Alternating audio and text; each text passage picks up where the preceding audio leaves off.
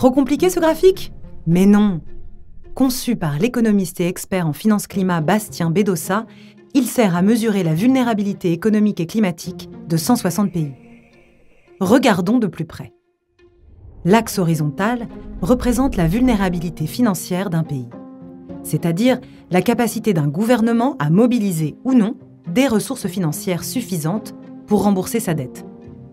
En d'autres termes, plus un pays est à gauche du schéma, plus sa solidité financière est grande, comme la France, les pays nordiques ou encore le Qatar. A contrario, plus un pays est à droite, plus sa solidité financière est fragile. On retrouve dans cette zone le Liban, le Venezuela ou encore la Zambie. Pour construire cette échelle, l'auteur de l'étude s'est fondé entre autres sur les notations d'agences comme Moody's, Standard Poor's, Fitch. Maintenant, voyons l'axe vertical, qui établit la vulnérabilité d'un pays par rapport au changement climatique. Plus un pays est en haut sur le schéma, plus sa vulnérabilité climatique est forte. Cela signifie que les pays concernés sont très sensibles à des dégradations climatiques récurrentes et durables, comme l'augmentation générale des températures ou la montée du niveau des eaux. On trouve par exemple la Dominique, la Barbade, Madagascar, l'Égypte, la Tunisie, le Sénégal ou encore le Vietnam parmi les pays les plus concernés. D'autre part, le changement climatique peut aussi engendrer des événements ponctuels extrêmes, comme des cyclones ou des inondations. Ici, les pays les plus sensibles sont principalement les îles des Caraïbes, du Pacifique et de l'océan Indien. On trouve également dans cette catégorie le Cameroun, avec des événements pluvieux extrêmes, ou le Mozambique, avec des cyclones très importants.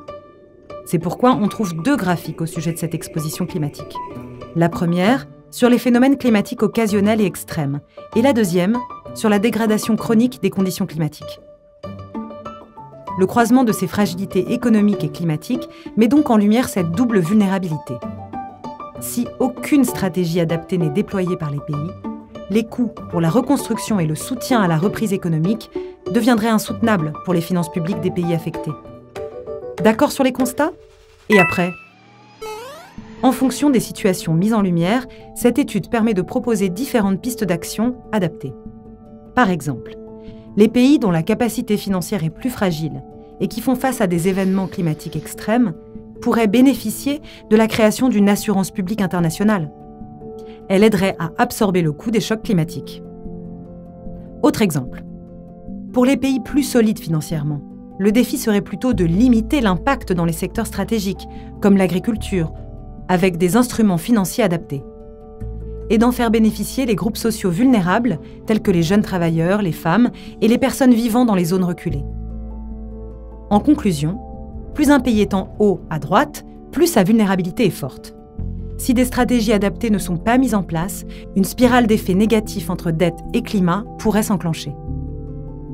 En effet, plus ces pays engagent des dépenses pour la reconstruction et la reprise économique après un événement climatique extrême, moins ils ont la capacité d'investir pour limiter l'impact des chocs futurs.